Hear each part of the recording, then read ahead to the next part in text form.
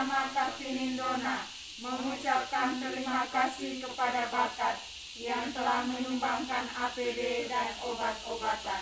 Bakat, yes!